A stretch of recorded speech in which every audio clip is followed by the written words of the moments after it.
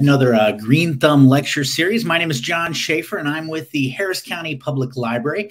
Joining me today uh, will be a member of the Harris County Master Gardeners Association uh, for a very special presentation and discussion. Uh, we are here online, uh, usually every third Tuesday of the month at 11 a.m., and that, of course, is right now. Uh, today's topic is growing roses in Texas, so this is going to be a popular one. before I introduce our presenter, I just want to go over a couple of things real quick. Uh, first, we love questions. So please, please, please um, uh, ask your questions. And the way you can do that is by typing them into the uh, your Facebook comment section or the YouTube comment section, wherever you are watching this. Please go ahead and type your, que- your questions in. And along the way, as we are uh, doing our presentation, uh, you might start seeing an answer in your question because we have uh, members of the Harris County Master Gardeners monitoring the chat. And so they will be answering the questions as they come up. And of course, we will pause uh, a couple of times throughout the uh, presentation to uh, ask our presenters some questions as well.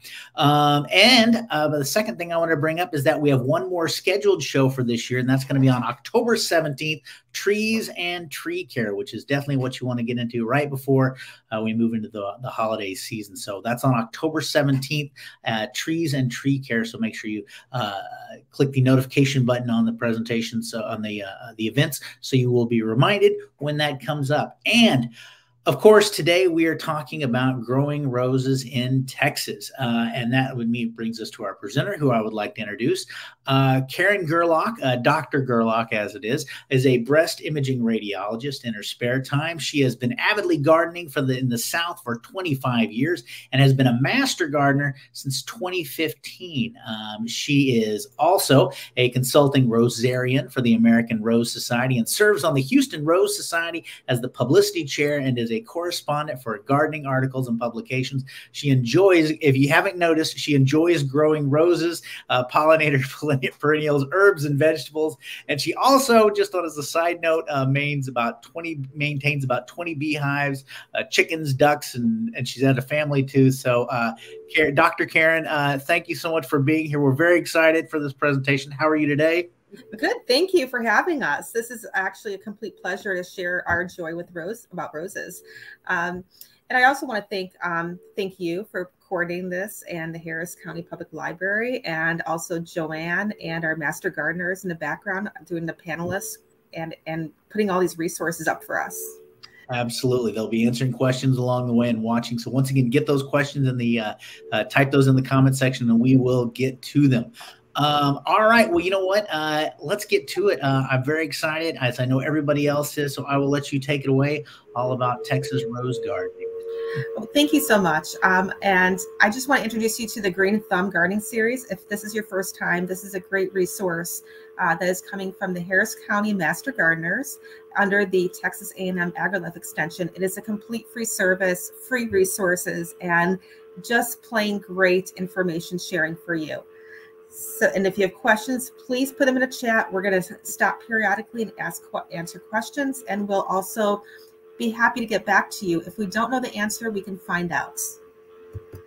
Okay, so many of our sources are coming from these main um, organizations. Um, the Texas A&M AgriLife Extension, the sources are very scientifically based, and they actually test things in test gardens all over the state um, the Texas Master Gardeners, the Harris County Master Gardeners, and I'm including a lot from the Houston Rose Society and the American Rose Society. And these are also groups that we have. I'm one of the consulting Rosarians, where if you have questions or if you are suspicious of a disease, for example, there's a disease called rose rosette disease. If you suspect that, you can contact the members to take a look. Okay, so basically, as a summary, as a big picture summary, and what I want you to take away is that rose gardening is often has a reputation for being very difficult and very tedious and requires a lot of maintenance and spraying and pruning and whatnot. But really, there's ways to optimize your success, and they include how you place your plants, how you prepare your planting, and what plants you select. We'll also touch upon a couple things such as uh, pruning roses, how to do that, and also discuss maybe a little bit about heat stress that we've encountered in all sorts of plants in our garden this summer. And then lastly, I'm going to address what Earthkind and Texas Superstar plants are and how they can help you pick out the best plants for your garden. Okay, so just an over, overview. Um, we are a family um, that we are part of an artist community in the city of Houston. We grow lots of plants, lots of perennials and herbs, roses, um, and we're powered by four kids. Two of them are our own. Those on the two on the right are mine, and two of their friends that uh, really love bringing joy to the community and answering questions. So, basically, my takeaway point from this slide: if these kids in this picture can learn all about gardening and answer your questions and and have that insight, so can you. It's not that hard. You got to stick to the principles, and by doing that, you will have wonderful results. Next slide. This is another picture of my daughter holding a goat. Um, we've wanted goats, but we've held off because we fear they will eat the plants. okay, so first I'm going to um, also discuss another a little disclaimer. Um, we there are many ways to grow plants and roses. Um, we actually make every attempt to be as you know, looking at this picture, we try to be as organic as possible. And the reason is that for health reasons for us that we choose, and we have animals and chickens and children, and we don't want we want to minimize runoff into the environment. But again, there are different approaches. If I don't do that approach, you know, there are many references, um, such as Texas A&M AgriLife Extension. So if you choose a more conventional approach, and the Houston Rose Society also has a bunch of resources if you want to do more conventional fertilizers or approaches. Um, and that being said, we're going to talk about, you know, so you want a rose garden.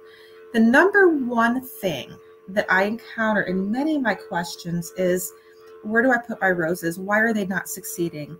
Number one, you really want to look at the placement when you're doing your planning stages. And I'm not talking about this kind of placements. I call this a plant stand, and it drives my partner really nuts, but it makes a great plant stand.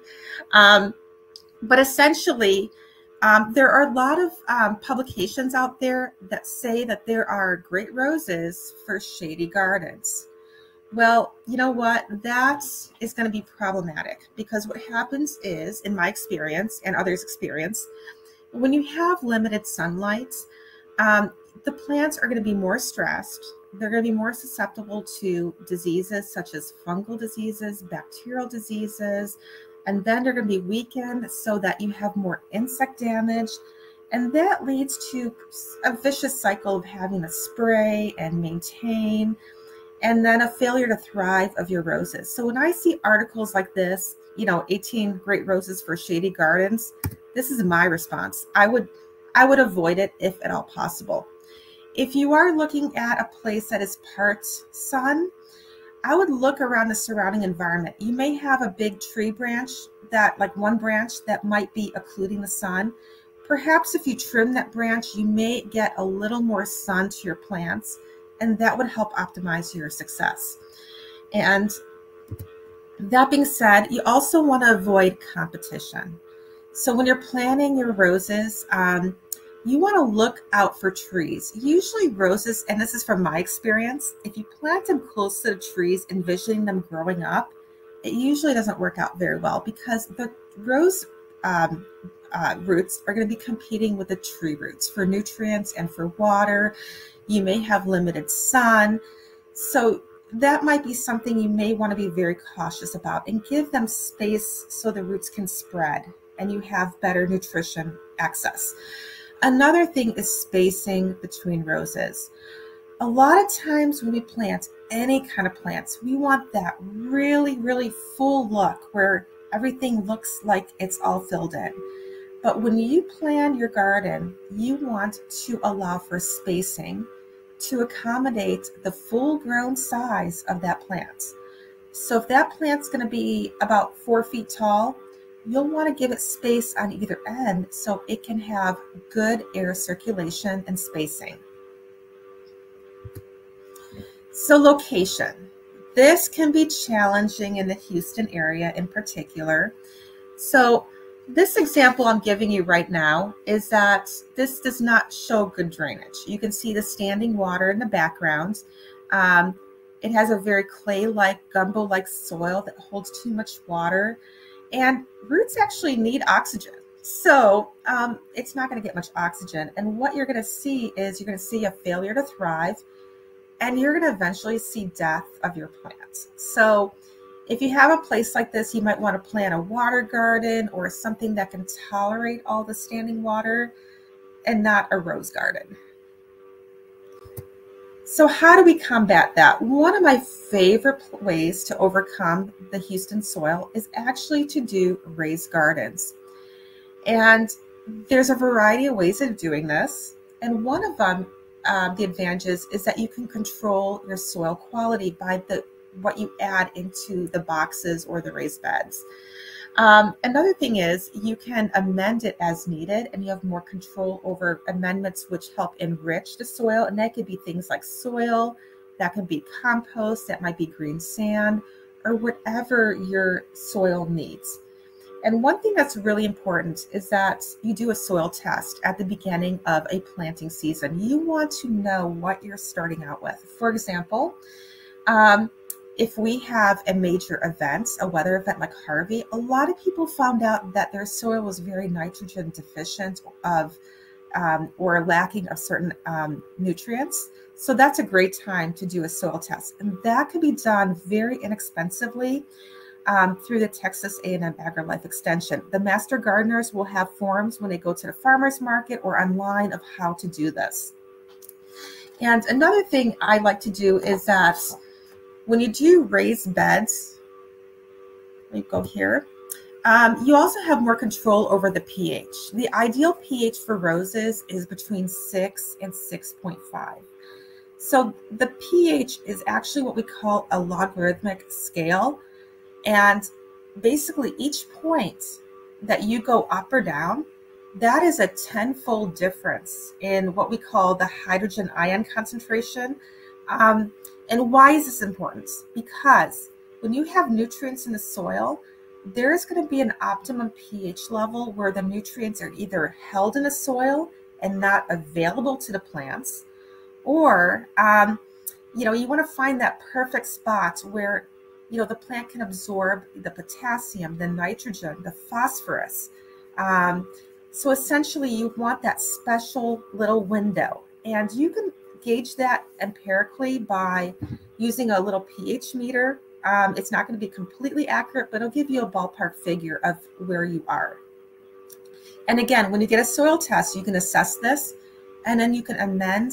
And you know, when you um, amend it, you're changing it to make it more optimal. And a great example of this is with fertilizing is a two-year-old. You can give a two-year-old all the food in the world you can put like 10 plates in front of the two year old, but they're only going to eat what they need. And the rest is going to go to waste. So, really, you don't want to spend uh, you know money on fertilizers that are not necessary or over fertilizing where it's just going to run off into you know our drainage bayou systems okay this is another example of a raised bed as you can see um, you, there are logs that are being used and that's used to hold up the material in the soil that's in the bed. And this is really cool because the sides will naturally, those logs will decompose after time and they will add to the nutrient content of your bed. We do a lot of this because we have a very woody area. And sometimes, you know, we have a tree that gets struck by lightning or um, if it falls in a storm, we will take the logs and put them in small pieces and use them to support our raised beds.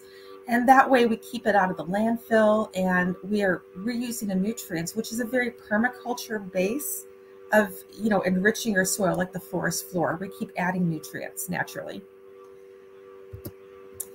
So another option to do is container gardening.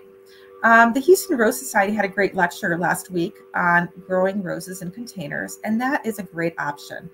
Um, if you live in an apartment, you don't have much space, or you want to move the plants when the sun patterns change throughout the year, container gardening is great. However, it will require more watering. For example, this past summer, If you grow plants in containers, you may have to water every day and sometimes multiple times a day. And that's when you want to consider maybe putting in an irrigation system because it's really hard to remember to do that each and every day or multiple times a day. And also the materials. What kind of pot you're going to use does matter. For example, if you use a terracotta pot, um, the, the, unglazed terracotta pots, um, they will dry out much more rapidly. So you're going to be watering a lot more, and that's a lot more work. So you may want to save your terracotta plants for things like succulents that you want to stay in the dry side. And you may want to opt for things like a plastic or a ceramic glazed container for your roses that will hold in the moisture a little longer. Okay, and again, real quick, uh, Doctor. Uh, absolutely. Jumping, got a question for you. Uh, this came in. So um, you mentioned goats earlier, and you guys have ever think about goats. Um, now goats obviously we, we, could eat roses but are there any other animals that you need to be worried about like your pets or you know raccoons or armadillos that might be going after roses is there a, is that a fear or worry? You know what? My approach is that everything balances each other out. You know sometimes we get some um, wasps that will actually cut out the petals um, out of the roses and when it's in a bud and then when it blooms, it's actually really cool because you have this very symmetric pattern around the rose. I have a few pictures of it. Okay. You know, that happens, but you know what? You think about the beneficial wasps, they may need a home, but you know what? They also lay their eggs on, for example, the um, the horned um, tomato worms that will eventually cannibalize the or you know eat the tomato worms. So everything is a symbiotic relationship. We don't see too many armadillos here. Um, our biggest one are squirrels going after our vegetables. Um, but you know, I, I have a 16 year old who has a slingshot. I'm kidding. Okay. But, um, but we have, you know, we have dogs that chase off the squirrels, but really there's enough for everybody. So oh, okay. I just, I just plant more for everybody. But pets is a great example because there are certain plants that are toxic to pets, and those tend to be like the um, trumpets, um, flowers. Um, there are certain flowers that can be toxic to children or to pets. And I find that our chickens and dogs stay away from them, but some pets may not follow those rules, you know? So you may, you may want to be careful if you have house plants and cats that eat them and just be judicious about what you pick out. But actually, toxicity wise, roses are not um, in that toxicity range because you can actually, if you don't spray, you can actually use rose hips and make rose hip teas or jellies. So, um, you know, or you can, you know, it's a very edible type of plant. I would not eat the thorns though. gotcha, guy. Well, let's hope my dogs, uh, you know, save some for me to eat when the time comes. So, Thank you so much. Yeah. We'll let you get back into. I'll, I'll let you know if you have more questions. Absolutely. So I want to bring your attention to the Houston Rose Society. There are free monthly meetings on various topics. It is in person in the Heights and also um, on GoToMeeting. So these are the second Thursday of each month at 7 p.m. and it's completely free and a complete service. And then there is a member online archive for if you want to learn more about um, roses from the speakers. And next slide selection. Okay, this is a great book. Um, this is a book that comes out as a little pamphlet. It comes out every year through the American Rose Society. And basically, it lists all the different recognized roses. Um, and it's the Bible of what category they belong into. So there's a whole classification system, which is based on their um, genetics, um, their lineage, and their plant growing characteristics. And things that it lists will be the zone, the size of the plants. Is it a repeat bloomer? Um, what is its habit? What is, is its shape or its growth form? And different varieties like bourbon roses. Um, bourbon roses is a rose variety that is grown. There's a heavy population in the Louis Armstrong Park in New Orleans, and they do very, very well in our heat, in our climates. Additionally, I found that the roses of Bermuda which do very, very well in our climate also. So you can find different varieties through this book. And if you want to show off your blooms in one of the rose competitions, this will help you figure out what class it goes into. Okay. I'm going to, next slide. And of course, I love fragrant roses. So in the past, um, the old garden roses, which were, you know, 1860s and older, those tend to be very heavily scented and it's a pleasure to grow them and you can smell them throughout your garden on a summer day or evening. And um, however with the hybridization process a lot of effort has gone into the appearance of the blooms and the other characteristics and not necessarily the fragrance. However there are several hybridizers that are actually bringing back the fragrance to these roses. You know one of them is ping lim who is using disease resistance, like um, like the gentleman who did the knockout roses, but he's also working at adding in the fragrance. So that's something to judge when you're selecting what kind of roses you want to grow at your home. Okay, now this is a very long list, and this is available at the Houston Rose Society um, online. So you don't have to memorize it. This is just a general overview to show how they are classified. Um, so we have species roses, which are the old ancestors. And then we have the old garden roses before 1867. Those are the ones that have a lot of fragrance and they have so many different characteristics. You have alba, um, you have bourbon roses, lots of different ones to choose from. And here's some more varieties of old roses. Uh, the China roses, um, those are very repeat bloomers. They do very well um, moss roses, noisettes, Portland, and tea roses. So these are all different examples of old garden roses. Again, it's best based on the historical developments and their characteristics of the plants. And these are generalizations. So you've got to look at the different varieties in each class and find out the one that's going to work for you. And then we get into modern roses. So these are the ones we see more often in landscapes and in developments and whatnot. So these started with La France basically in 1867, and we have thousands and thousands of varieties. And you can see the hybrid teas, the floribundas, which are used in the landscapes. Okay. And then we have miniature roses, shrub roses, um, climbers, lots of really great options. So that gets me into the habits, the habit of the plants. So when you're planting to use rose, you have to plan where you want it to grow and will its shape and form and size fit for your space. You know, I have one rose, it's called a mermaid rose. It's a beautiful white, pink, pale yellow rose, and it's climbing along a fence, and it is better than anyone's barbed wire fence that they can install. It is pretty vicious. I'm afraid to walk by it but it blooms beautifully. It's scented. It's a great one. And it gets very dramatic. And if you look at this trellis, you can see that this is from Mary Fulgham's garden. She is actually one of um, the consulting or master rosarians. And she, you can see how she's training the rose to grow up on the trellis.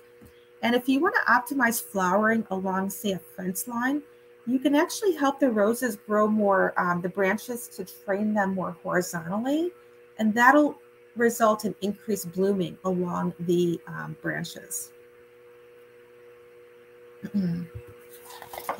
so this is another example um, of the habit of a plant. You can see all these white roses, how they're grouped together. You see how they're appropriately spaced so it maximizes air circulation and you're not stifling its full potential. And also add a design note. I know some people like to put one rose here, pink one here, red one here, and a white one here, and one of everything in one place. But if you're aiming for a more dramatic effect of your design landscape, you may want to group one color together. As you see, all these white roses kind of create a greater impact. And then you have a series of red roses in the background. So that's something you can keep in mind if you're doing a whole rose garden or different areas, you can actually group all the pinks in one place, the reds in one place, the whites in the other place, and you can get more of a grand effect. This is another example. You can see that these pink roses, it just gives you the wow factor. So this actually is something that you think about during your planning stages. So do we have any questions about the planning portion?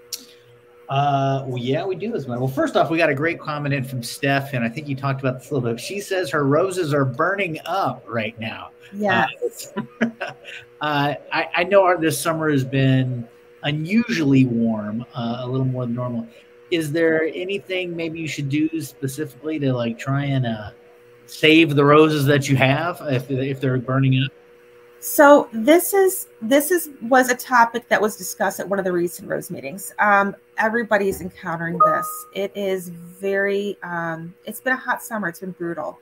The key is the plants physiologically. I'll touch on this later, but they are in a physiological survival mode the temperature difference between 90 degree temperature and over 100 degree temperature is vastly different. And the physiological processes in the plant cells are very different.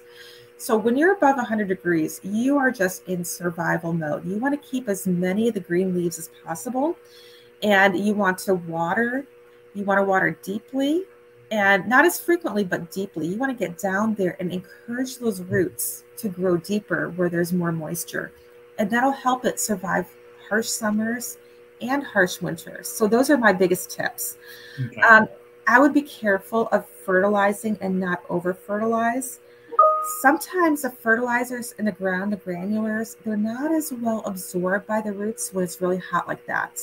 So okay. sometimes doing a very light, a very gentle foliar spray will help the plants um, like fish oil or um, a seaweed emulsion, you know, make sure you dilute it, make sure you follow the label. I sometimes even go a little lighter than what the label says. Okay. Um, and you want to spray, if you do spray, do it in the evenings when you have less pollinators present and it's not going to scorch the leaves as much because you don't, and you don't want to mix products, only use one. Don't mix things. Don't make a concoction because it may work for somebody else but it may completely destroy all your plants. Okay. Um, so sometimes what happens is the leaves on the plants underneath the bottom, they have these things called stomata. When it's less than 90 degrees, they open up, they're like little pores, and they can actually absorb nutrition through these pores overnight, for example.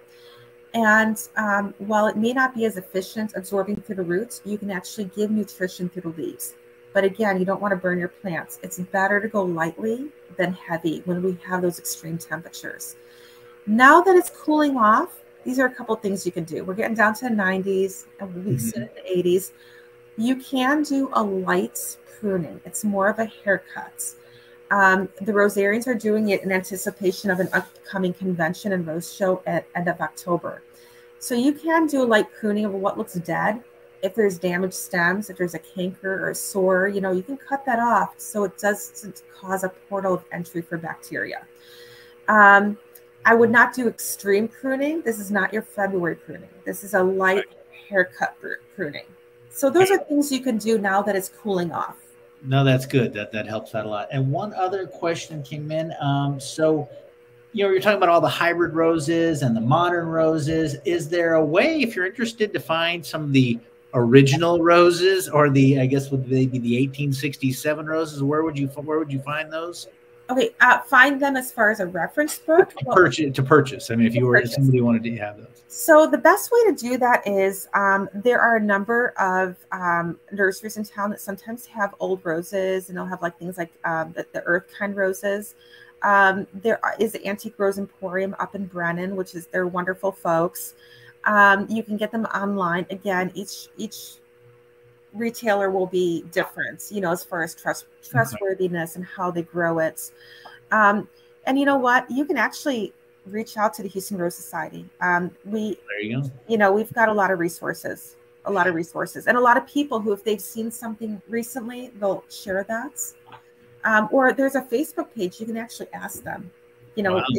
Do you know? lots of resources out there. Just there's so uh, many. There's so many, and it really, um, you know, picking out the types. I like that little handbook by the American Rose Society because it gives you the list and the characteristics. Mm-hmm. And you can look up the pictures and see what works for you. You may say, I want something five feet tall, I want it fragrant, and I want it to be a repeat bloomer. And you can pick three or five of them, three, four, five of them, and look those up. So it's, it's, like, a, it's like a dating app except for roses. Got it. it's the best dating app out there, is all I can say. All right. Well, we'll let you get back into it. Thank you so much, okay. Dr. Karen. Nope. Anytime. Anytime. So, next slide fertilizing. We touched upon this about unfertilizing. So, this is my grandmother who she's from Poland, and her philosophy was I put out the kitchen scraps so that the animals come and their excrement helps feed my garden. So, you know, it's pretty on target because all that stuff is in all our organic, you know, kind of fertilizers that we buy in the store. So, anyway, um, we try to keep things very simple and use what we have. We do not put out leaves or other debris or twigs out for collection. We reuse them in our garden to add nitrogen to our flower beds. So, that being said, fertilizing, you have two approaches. You could do a conventional approach, which is considered non organic, or you could do organic. And again, that's going to be dictated by your preferences, your philosophies, and many people have had success with both. Um, but of course, before you do any kind of fertilizing, start with a soil test.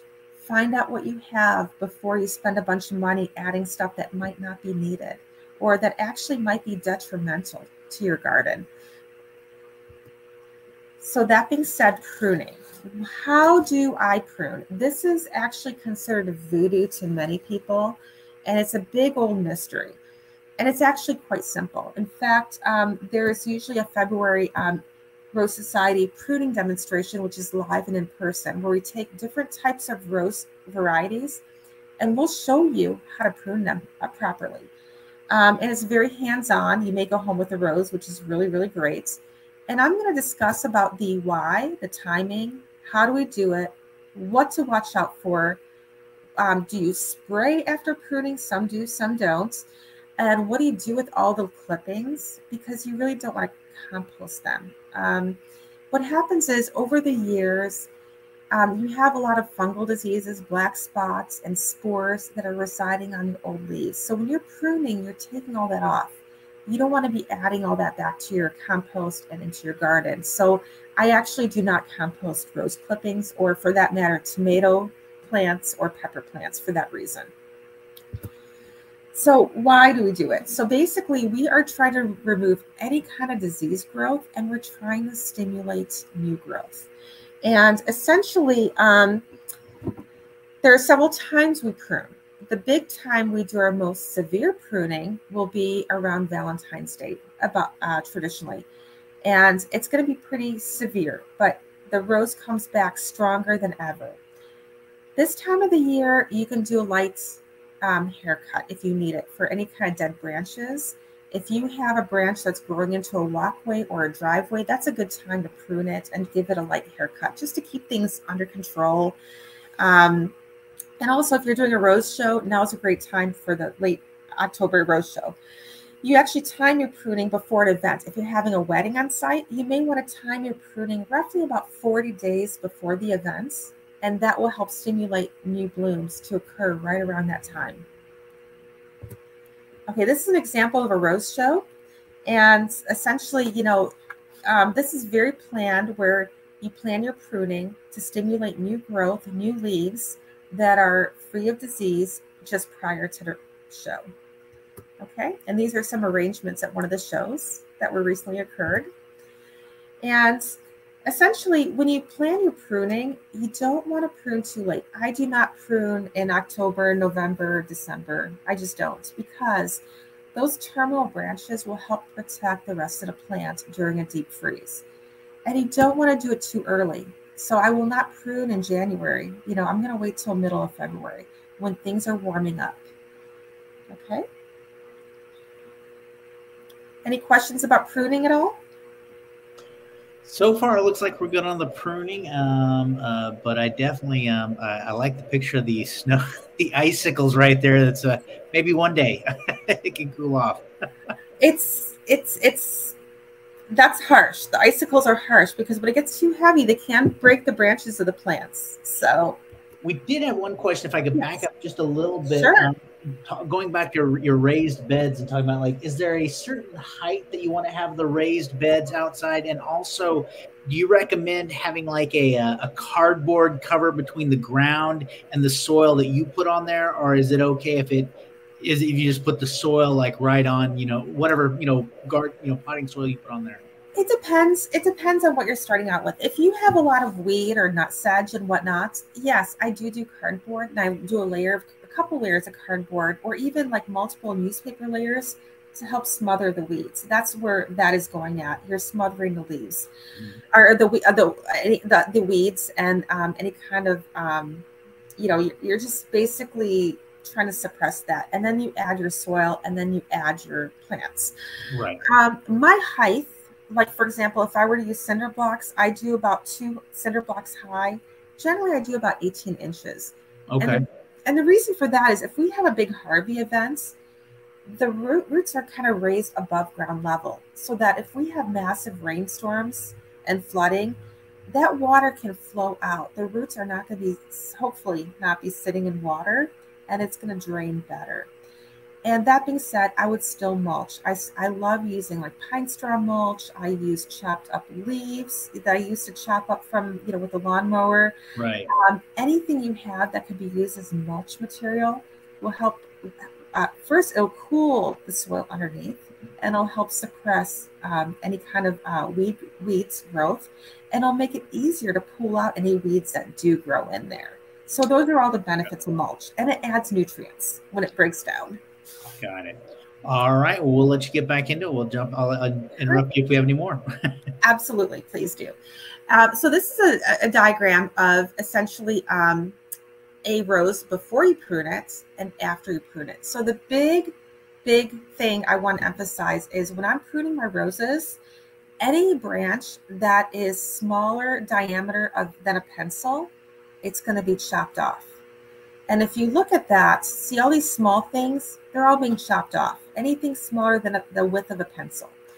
And then you're going to go back to your main canes here, and you're going to have not many leaves left, or virtually none. So you're going to remove all that diseased leaves from last year.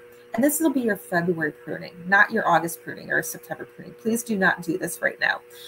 And essentially, if you look at this, they cleaned up a lot of the branches that are in the middle. And what that's going to allow for is better air circulation. And they're picking the branches that make it a more of a fuller outward form. So you're selectively um, you know, picking which branches and what direction you want your plant to grow and fill into. Um, and there's a big deal people make about the cuts. Do you go at this angle or this angle? And really, you're doing the angle where when it rains, the water is going to kind of, here's a bud, here's a stem, and the water is going to flow away. So that's the only science behind the uh, the direction of the stem cuts.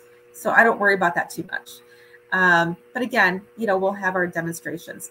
When you do prune, you want to look for any um, damage in the stems. In this example, you see a canker and damage to the stem.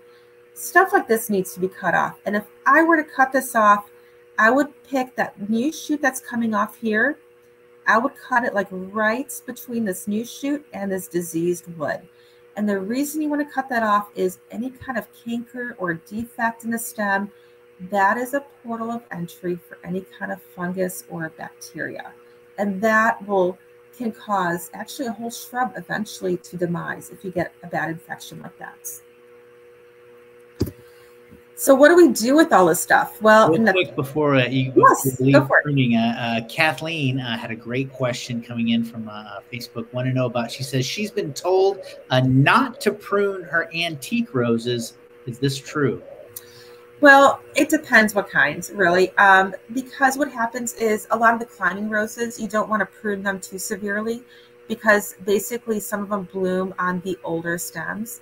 So if it's a one-time bloomer, you would wait till that bloom cycle ends and then you can prune afterwards.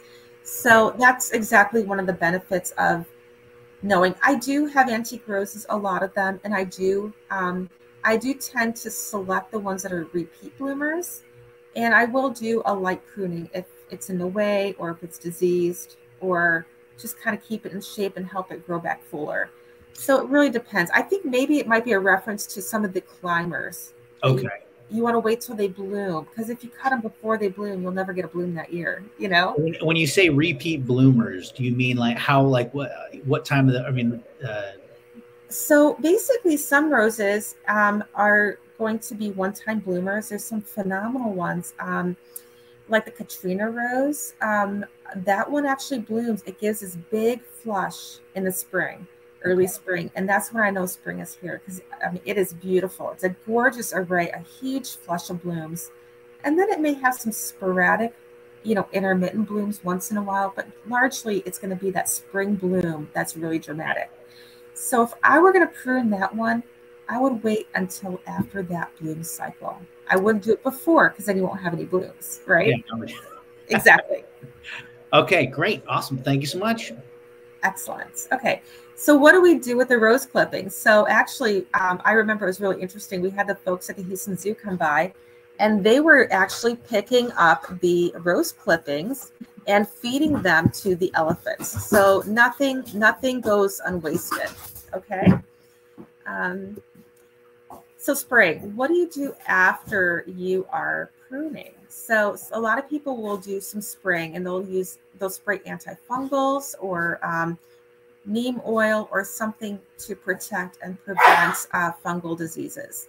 So number one, when you are spraying, um, there's a couple of guidelines that you want to keep in mind. Um, I'm sorry, my husband's making an espresso. I don't think he realizes I'm presenting here. um, so you want to keep in mind the um, the safety of what you're spraying.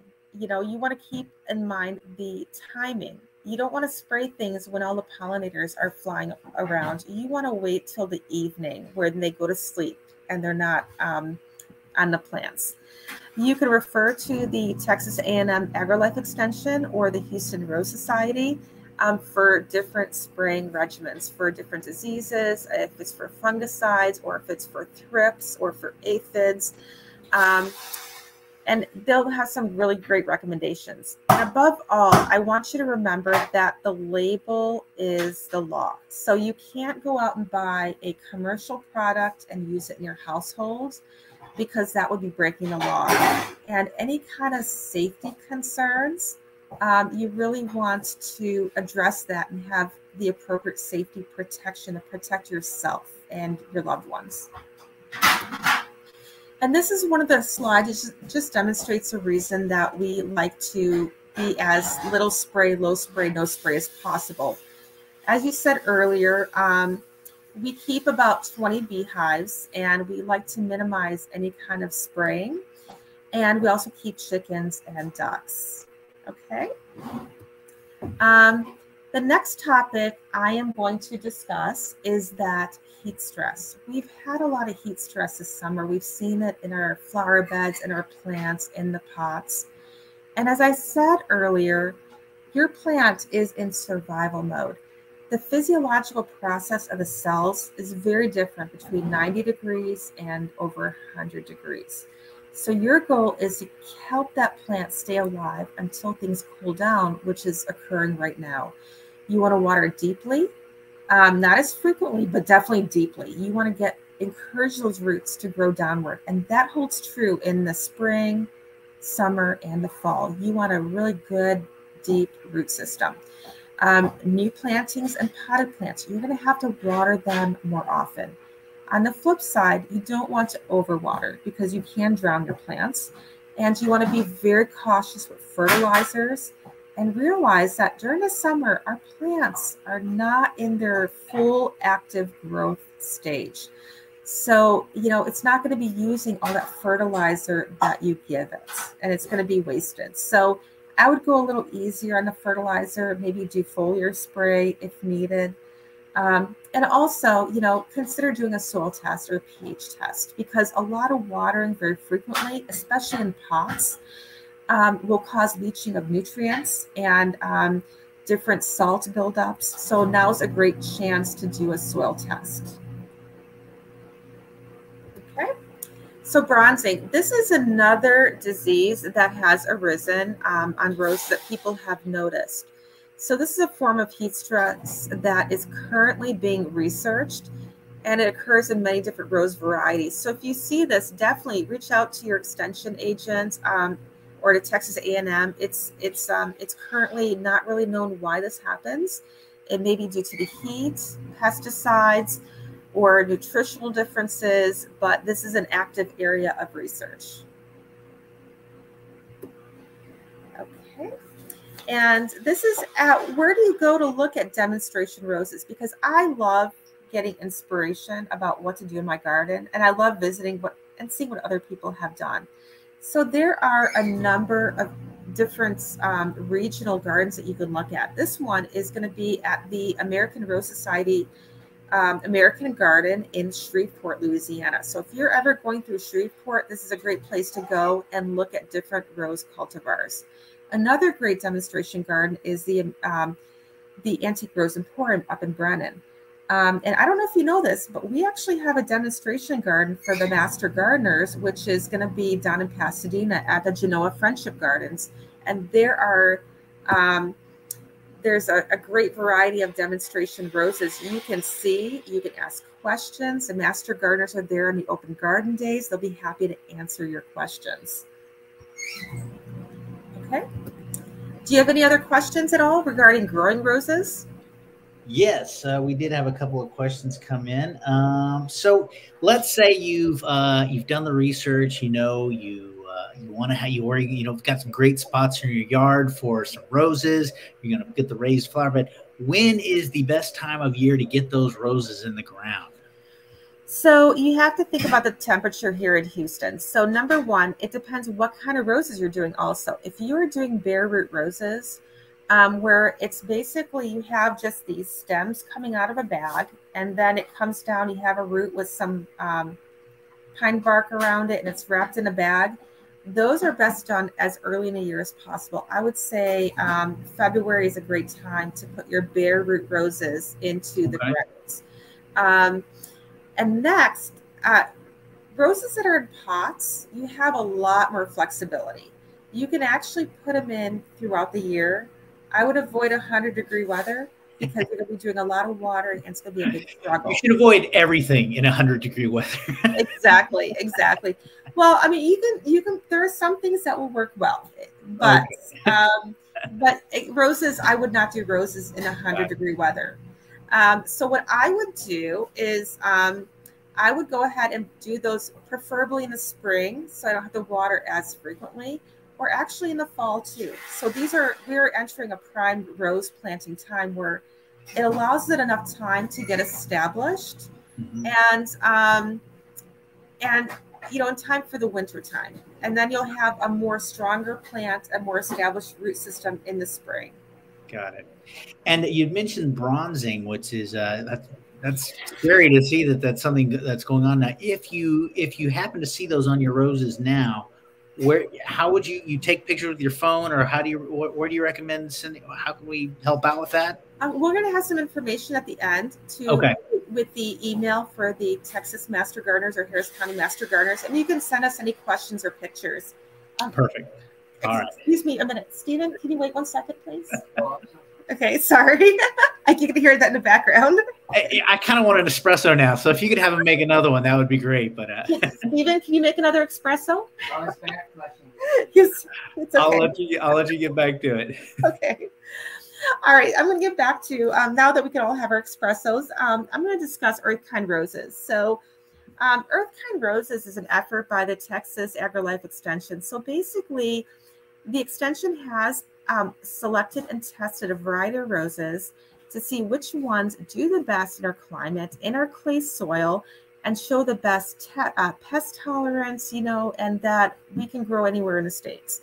So this is a great resources. And I'm going to give you a couple examples. Again, this is um, the examples I give are going to be a little overwhelming, but you can look this up online. And this is a great way to find roses that are easy that work really well. And I'll tell you the ones I have. So essentially, we do field trials and we see which ones perform the best and the ones that perform the best in a variety of soils because the soil in Houston is going to be a little different than, say, East and West Texas or Northern Texas. So these are just really great suggestions for our states. So, benefits why is this good? First of all, you're going to enjoy wonderful flowering plants. You're not going to have to use as much fertilizers, pesticides, and water resources. And that's really great because we've seen our water bills in the past summer. We really want to minimize using our resources. And and I'll be honest, a lot of these uh, varieties I have, I rarely water, and they've. I mean, I have some that are about 10 feet tall now. It's pretty, pretty impressive. So this is going to be one example. This is all on the Texas A&M Life Extension website. So this is going to be Caldwell Pink. So this is actually a rose um, that does very well. It's suspected to be uh, pink pets, you know, and it is, you can see the details here. It's a found rose, which basically means that we don't know where it came from. Um, there's a group in Texas called the Texas Rose Rustlers. They go around the state digging in cemeteries, you know, old abandoned lots, and they're discovering um, rose varieties that we never knew existed. And they don't dig them up, they're very respectful. They will propagate them respectfully or ask permission to if needed, and continue keeping them alive and keeping them hopefully in commerce so we can enjoy them and they don't fade away and go away forever. So here you can see, you can see the size. It gives you the height, width, spacing, the color, the blooms. Is it fragrance? If you want a fragrant rose, this one probably might not be for you, but it's very hardy. Um, and it also gives you your cold hardiness because in Houston, we really don't cover our roses for freezes. And you can see that this is one that would do very, very well here. Okay, so next variety I'm going to give you is Cecile Brunner. This is another example of a rose that is an earth kind rose. And again, it's cold hardy to our region. It ha does have some fragrance and you can plan how big it's going to be for your space. So this is a very easy, very hardy rose variety that's on the list. This is actually one of my favorite ones. So white roses can be difficult to grow. And the reason is they can be very susceptible to chili thrips, which is an insect that will infect the, um, the blooms and it will cause failure for the flower to open. And there's ways to treat that and prevent it. But uh, is a great rose. It has performed outstanding for me in the Houston area. It is a repeat bloomer. It is fragrant and meaning it blooms all the time throughout the spring, summer, fall until it freezes. And I have a few you know, ones that only bloom once. But for me, I like the, re- and a lot of people like the repeat bloomers because you get to just enjoy it a lot longer. So next slide. Uh, uh, Duchess Barat. This is a great one. It's a very pendulant, larger peach rose. It's very fragrant. Fragrant. It's a repeat bloomer. Mine get to be about six feet tall, and this is always in bloom. This one has been in bloom all summer long, and it's such an easy one to grow. Now, when you're looking at the sizes of roses, I do want to caution you that when you go to a nursery and you see a tag and it says it's going to grow to be about six feet tall, um, there's a methodology they use to get those numbers. Um, they don't just make them up. These plants are tested in test gardens throughout the country, which could be in California, it could be in Chicago, Pennsylvania, and Texas. And what they do is they compile the information of how big it gets, how tall, how wide, and they average it.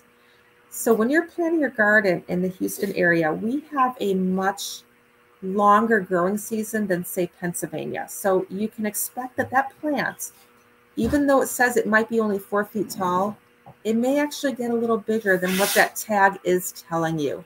So you want to plan that when you're doing your garden, okay? This is actually one of my funnest roses that I really love. It is another constant bloomer throughout the heat, uh, Mutabilis. Um, it loves to change colors. It's a very multicolor. It has pink and yellows and oranges and peaches in the blooms. And it is a repeat bloomer. And it's actually um, named as the butterfly rose because the blossoms look like butterflies that have landed on the bush. I mean, some say that, but it's just a really fun rose that just does really wonderfully here. And you can see it's not fragrance, but it's just a fun, beautiful blooming rose. Okay. So those are some great examples. If um, those are all great examples, if you're going to pick your first rose, and you want to plant it and try it out in a sunny place and with all the tips that we've given you. Um, I'm also going to call your attention that um, there is going to be a convention. It's going to be the Southern Rose District Convention in the end of October. And what I really like about this convention, it's going to be a rose show, but there's going to be people there to answer all your questions. And it's going to be right in Bellaire. Um, there's going to be a great category in this rose show. It is going to be the quote, I forgot the name of this rose, or I lost a tag of this rose show competition category. So if you have a rose that you do not know what, what variety it is, you can actually take a cutting and enter it, and you will have people help you find out what variety it is. So it's another great excuse to go.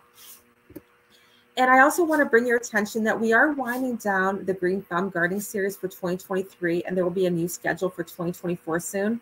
So we have one more next month on tree planting.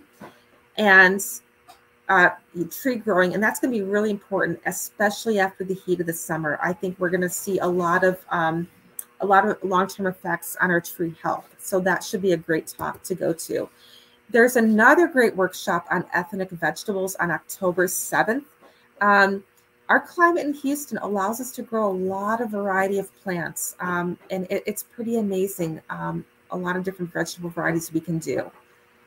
So if you can make it, that's a great one to go to.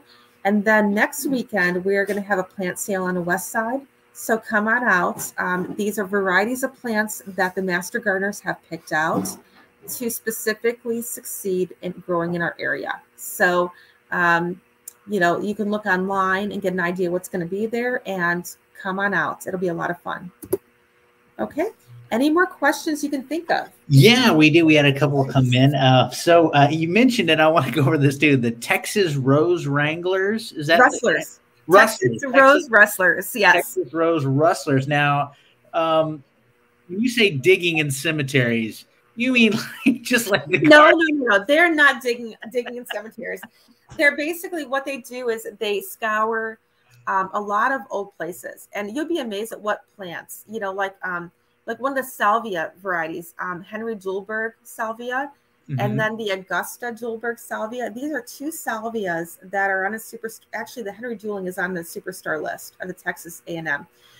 These were found on a um, at an old grave site that was unirrigated, and one was found on a grave of Henry Juling, and the other one was found on a grave of Augusta Juling. And what happened was those survived, were hardy, and thrived upon, with neglect, which I love those kind of plants. So what they do is they do clippings and they propagate the plants. They're not going to destroy or dig up the original plants because that would be very disrespectful, especially in a cemetery, right? right. But what happens is we are keeping those plants in um, in commerce, you know, where they are available for future generations. Oh, and if great. and if they survive under those conditions for hundred years, I'm hoping they're going to survive in my garden. Yeah.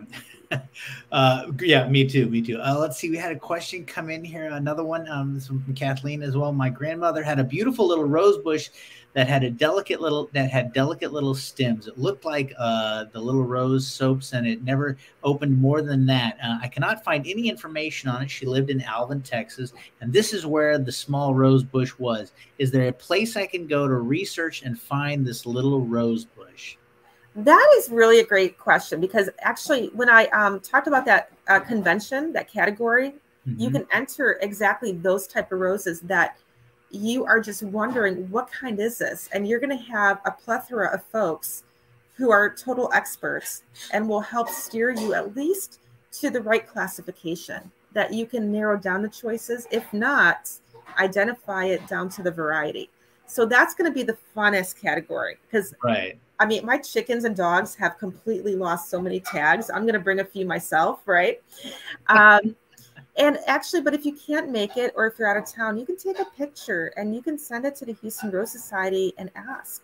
You know, that's yeah. why, you know, we're what we're there for. And we work on various projects with A&M. Awesome. Yeah, absolutely. So hopefully, uh, Kathleen, you can make that to the uh, the event coming up in October. And uh, you know, one last question. You mentioned so many great roses that you know are your favorites, and there's obviously. Is there any rose you recommend people avoid by any chance? Is there like a one that's just going to be disappointment or anything? Well, you know, there's this age old debate about grafted versus own root roses. I am very, I have not, I've really struggled with some grafted roses, and some people have had success with it. I don't even bother anymore personally. But, um, and I got into an argument or a discussion, I'm sorry, a debate with um, one of uh, the gentlemen from California who came to discuss and said, oh, yes, grafted roses are much, much better than own roots. Um, we had a differing opinion, but but it could be that it could be my style you know it could be that i'm not going to spray things that require a lot of maintenance um, but i like own root roses because if you do have a hard freeze like for example or what we had last time i've had more luck with own root roses if they look like they're dead suddenly i see a little branch coming up where the whole plant comes back from a little branch. And you're not going to get that with the grafted roses you know? So that's why i prefer own roots. Well, there you go. Listen, thank. This has been an amazing experience, amazing presentation, Dr. Karen. Thank you so so much for your time. Um, this, of course, will be living on on the internet, so we can direct people to it. And I know that we'll, If you have any questions, as uh, if you watch this at a later date, just send those to the Harris County Master Gardeners. I know they will. Uh, uh, they will love to uh, try and uh, answer those for you. So, thank you so much, and I hope that we can see you next year sometime. That would be wonderful. And I, I'm looking forward to even just attending the lectures. I think, thank you so much, John, for making this a resource for all of us because um, sharing information is what the Master Gardeners are all about. So thank you. Absolutely. Thank you. It's my pleasure. And just as you can see on the bottom of the screen there, I want to remind everyone, remind everybody one more time, October 17th at 11 a.m. We'll be talking about trees and tree care. And then uh, we'll have the schedule coming up for next year, 2024. And uh, there's always going to be new stuff coming in from the Master Gardeners. So please check out their website as well. Dr. Karen, thank you so much. Have everybody uh, have a great rest of your day and enjoy that espresso, okay? thank you so much and have a great day. Bye bye. Bye bye.